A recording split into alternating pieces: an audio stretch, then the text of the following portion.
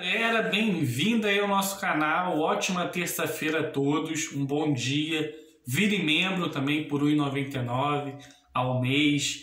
É, vídeos exclusivos, lives compartilhadas, grupo no WhatsApp, um conteúdo repleto do Botafogo para você não perder nada. Saiu uma pesquisa que pela Repucom que 40% da torcida do Flamengo torce para o Botafogo. É o segundo time, né, na verdade e gerou um incômodo nos torcedores botafoguenses por causa dessa pesquisa.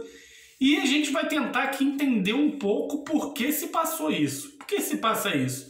Torcedor do Flamengo torcer para o Botafogo. Lembrando que o Zico já falou a respeito disso, né, na época que ele era torcedor. Ele disse que o time que mais causava terror nele era o Botafogo e a gente sabe que o Zico foi um dos maiores, é o maior ídolo da torcida do Flamengo. E também o teve alguns jogadores que passaram aqui também falaram no, na live do canal falaram do, do caráter do Zico, um cara super profissional, um cara que sempre respeitou a instituição Botafogo, mesmo que na época dos anos 80 ele causava um, um terror também, é um cara, um jogador fora de série. Então a gente pode entender por aí. Então ele, muitos torcedores flamenguistas, vascaíno, tricolores, é, admiravam o Botafogo nos anos 60, nos anos 70, até nos anos 80 o Botafogo também tinha grandes times, então pode surgir daí essa, esse carinho. A gente sabe que antigamente existia um respeito maior. Era épocas diferentes, era épocas que o torcedor se respeitava mais, é, era grandes times, independentemente é, da rivalidade, havia o respeito dos clubes. Lembrando que o Botafogo ficou 21 anos sem ganhar títulos e sempre era provocado, né? sempre cantavam parabéns para você cada ano que o Botafogo ficava sem título e causavam um incômodo nos jogadores, mas também sempre respeitando. E também tinha a situação das mídias sociais. Hoje é muito fácil você se comunicar com, com, os, com os torcedores espalhados no Brasil e no mundo. Naquela época, não. Então, naquela época, era mais a rivalidade local, era mais a rivalidade próxima, não tinha muito acesso a torcedores de fora do Brasil, não tinha muito acesso a torcedores longe. Então eles priorizavam muito Carioca também por causa disso, por causa da rivalidade, da provocação, da brincadeira. Então era uma época totalmente diferente do que é hoje. E para entender um pouco dessa matéria é complicado, porque a gente sabe porque a Chapecoense tem 77% de simpatizantes por causa da tragédia.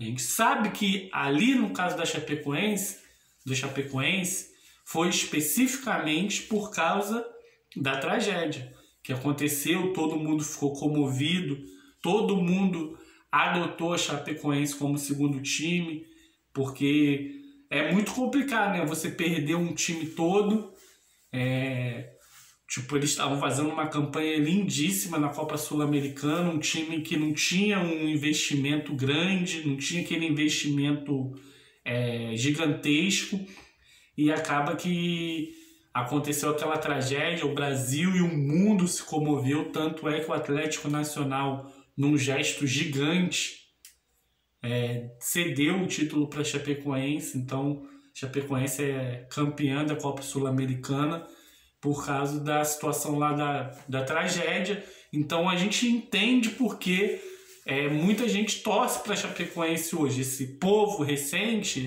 essa geração de hoje, torce para Chapecoense como segundo time por causa especificamente da tragédia.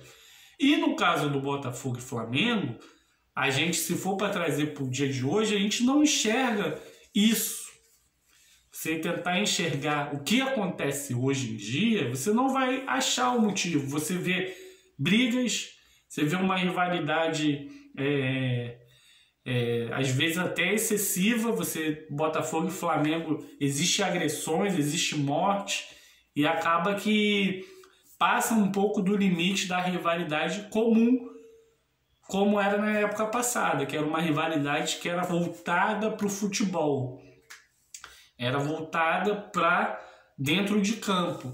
E antigamente, se você olhar, muita gente admirava os outros times, muita gente gostava de ver grandes times. Quem não ia, muita gente foi ver Pelé jogar no Maracanã, como o Santos vinha jogar aqui no Rio de Janeiro, porque era o Pelé. Então muita gente queria ver grandes jogos. O Botafogo tinha um grande time, Garrincha, Newton Santos, Zagallo.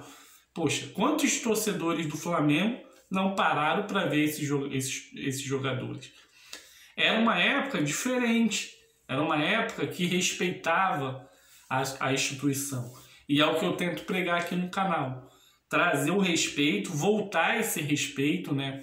A gente sabe que a gente vive momentos difíceis, momentos que a geração vai cre é, crescendo, evoluindo e vai virando uma geração diferente da época passada. Hoje você vê é, o mundo está tão mudado que você vê pessoas que de poucas idade, de pouca idade tal, mexendo em tablet, em computador com uma facilidade impressionante. Antigamente quem tinha computador era rico.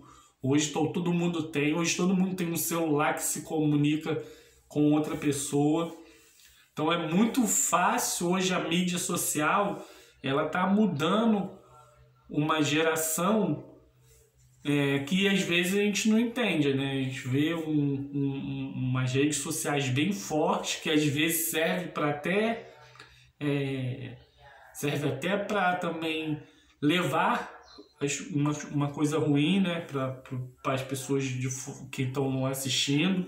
Vezes você vê uma matéria que induza algo, que induza alguma coisa que é complicado. Então é isso, é uma geração diferente, é uma geração que, que a gente tem que tomar cuidado, tentar é, minimizar o que as pessoas vê, ou você vê alguma matéria, você tem que ter uma interpretação própria, porque tudo tem um sentido todas as matérias têm um indício para te levar para algum lugar. Então hoje é uma geração complicada. Então para entender essa situação dessa matéria, eu acho que tem que entender como era o futebol no passado, um futebol bem jogado, um futebol que existia rivalidade, mas o pessoal também admirava os grandes jogadores, admirava esse futebol arque, esse futebol raiz, que hoje não existe mais.